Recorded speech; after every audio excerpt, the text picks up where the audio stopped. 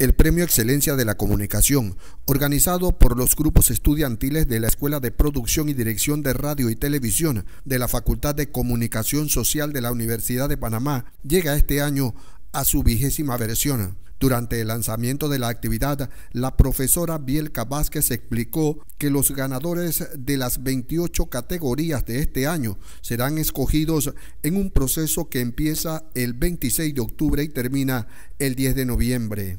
Por su parte, el decano de la Facultad de Comunicación Social, Edgardo Murgaza, tras agradecer a los organizadores, expresó su satisfacción porque con eventos como este es que los estudiantes pueden poner en práctica los conocimientos que adquieren en clases. Verdaderamente eventos como estos me hacen sentir orgulloso de mis estudiantes de comunicación social.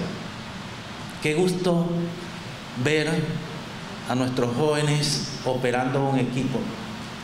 Qué gusto ver a nuestros jóvenes produciendo, realizando un evento.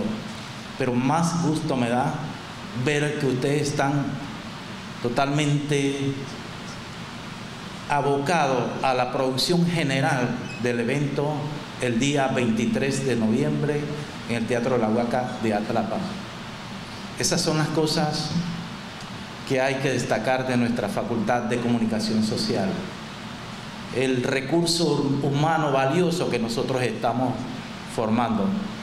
Jóvenes, sigan, sigan ese camino, sigan esa senda, que estoy seguro que van a llegar al éxito total en la profesión. Este año, la gala de los premios de la excelencia 2022 se realizará el 23 de noviembre a las 7 de la noche en el Teatro La Huaca del Centro de Convenciones Atlapa.